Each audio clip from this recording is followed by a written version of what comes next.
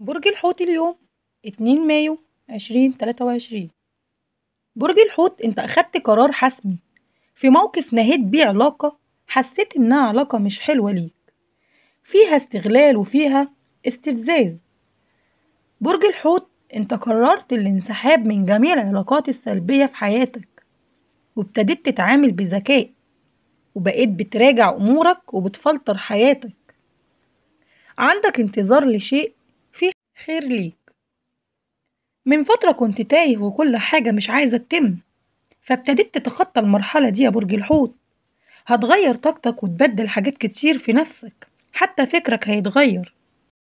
انت كمان ابتديت تخرج نفسك من الأوهام اللي كنت معايش نفسك فيها وبتعيد ثقتك في نفسك من تاني ورميت ورا ظهرك الخسارة وبقيت بتبين آه مش بتحب تبين ضعفك لحد.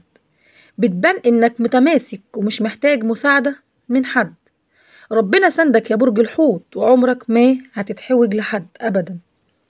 آه قلبك مليان ومعبي هم كبير ولكن أنت برج قوي وقادر تعدي كل مرحلة كانت قاسية في حياتك. برج الحوت أنت عملت عشانهم كتير وياما رضيتهم ولكن الصدمة ما جاتش غير منهم. في شخص كان قاسي عليك بالرغم من إنك ما كنتش وحش معاه. وبسببه انت جالك مرض في جسمك وبقيت تعبان طول الوقت يا برج الحوت. ولكن انت هتخرج نفسك من الطاقة دي يا برج الحوت.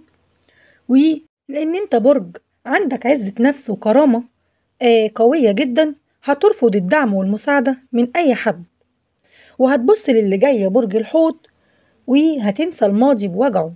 وهتدور على الاستقرار والراحة وهتغير آه هتغير حاجات كتير في حياتك أولها سكنك. وكمان هتدخل عمل جديد فيه خير ورزق واسع يا برج الحوت.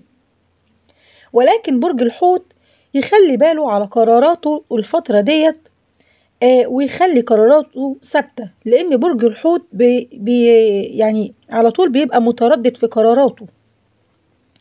خد قراراتك آه بحسم يا برج الحوت وتوكل على الله.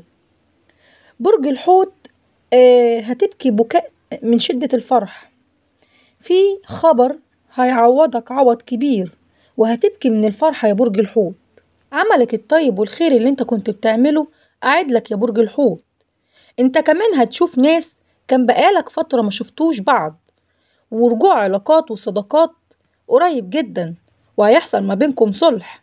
بينك وبين ناس كان بقالك فترة متخاصمين وهترجعوا لبعض تاني في صداقات وعلاقات هترجعوها لبعض تاني يا برج الحوت. انت آه من الأبراج اللي بتقدر اللي بيجي لحد عندك ويمد ايديه بالصلح. طريقك كان كله مطبات يا برج الحوت وانت اخترت الطريق الصعب والتحدي. ولكن انت نفسك في حب. حب صادق مفهوش استغلال. حب بجد وصادق يا برج الحوت.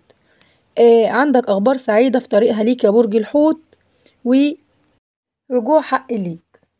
ولحد هنا تكون انتهت قراية البرج الحوت اليوم. ما تنسونيش في اللايك والاشتراك في القناة وتفعيل زر الجرس عشان يوصل لكم كل جديد في قناتي. باي.